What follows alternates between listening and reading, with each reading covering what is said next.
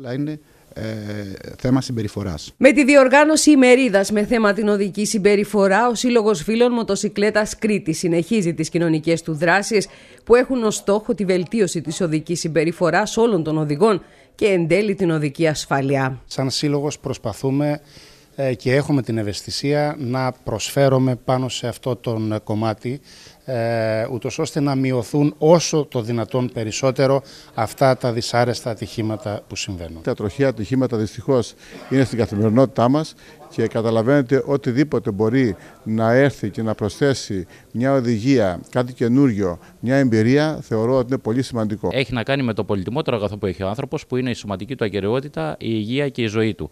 Αυτά λοιπόν τα αγαθά που είναι τα σημαντικότερα, θα πρέπει να τα διαφυλάξουμε ως κόριο οφθαλμού. Η βελτίωση της οδικής συμπεριφοράς είναι το κλειδί για τη μείωση των τροχαίων ατυχημάτων που σε πολλές περιπτώσεις γίνονται δυστυχήματα, βυθίζοντας το πένθος ολόκληρες κοινωνίες. Είναι η πιο δύσκολη δραστηριότητα οι μετακινήσεις μας καθημερινές που σκοτώνουν και αφήνουν παραπληγικούς και πολλούς τραυματίες, κλείνουν σπίτια και είναι πάρα πολύ δύσκολο αυτό. Η γενοκτονία λοιπόν που συντηρείται πρέπει αυτή να σταματήσει. Στην Κρήτη τα τροχαία είναι και πάλι σε έξαρση.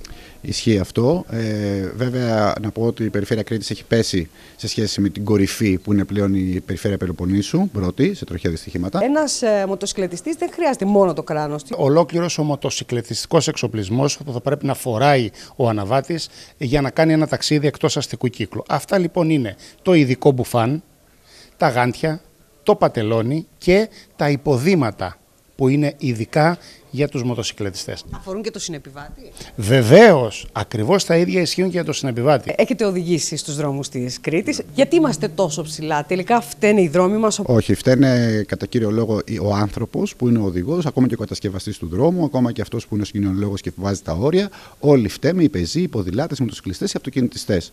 Τώρα, έχουμε ένα σωρό προβλήματα, βάζουμε ένα σωρό προτεραιότητες, οικονομικά, προσωπικά, οικογενειακά προβλήματα, τα οποία τα βλέπουμε μπροστά μας, είναι αυτό που λέμε το dreaming, το, το ονειρευόμαστε συνέχεια και ε, δεν βάζουμε την προτεραιότητα που πρέπει. Δηλαδή, από ένα παράδειγμα, φεύγει η μαμά, έχει καθυστερήσει και τρέχει να προλάβει να πάει τα παιδιά στο σχολείο, ενδεχομένως να τρακάρει, να σκοτωθεί, να σκοτώσει και κάποιον στην παράσυρση δεν βάζει σωστή προτεραιότητα. Η προτεραιότητα είναι να φτάσει, να είναι υγιής και ακτιμελή και εκείνη και η οικογένεια και όλη η ανυποψία στην περαστική. Όπως σημείωσαν οι ομιλητές κατά τη διάρκεια της ημερίδας, οι παρεμβάσεις γύρω από τα ζητήματα οδικής συμπεριφοράς και ασφάλειας πρέπει να ξεκινούν ήδη από την παιδική ηλικία. Τα παιδιά να μάθουν το σωστό τρόπο συμπεριφοράς μέσα από τους ίδιους τους γονείς, που η ατομική ευθύνη για κάθε γονέα είναι πάρα πολύ μεγάλη στο πεδίο αυτό.